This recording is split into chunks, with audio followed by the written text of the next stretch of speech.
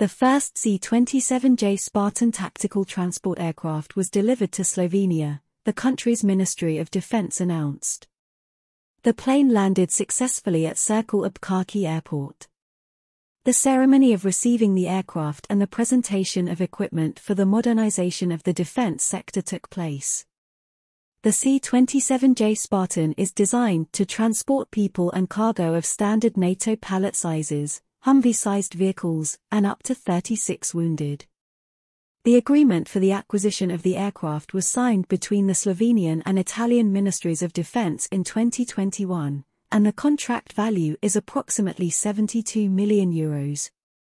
The basic price of the aircraft is 48 million euros, and the rest of the amount represents the cost of additional equipment in the form of modules, cargo, transport, transport for infected, medical for transporting the wounded and a module for firefighting, each of which is estimated at 11 million euros.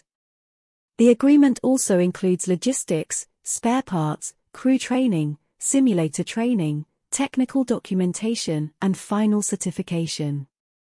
The purchase of the tactical transport aircraft is part of the long-term development and equipping program of the Armed Forces of Slovenia until 2025 and the aircraft is expected to be received within about 18 months.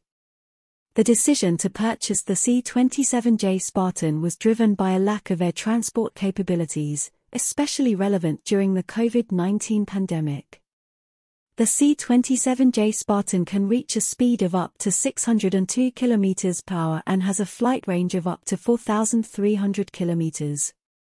The aircraft has a payload capacity of 11.5 tons and is designed to carry 60 soldiers or 36 stretchers and 6 medical personnel.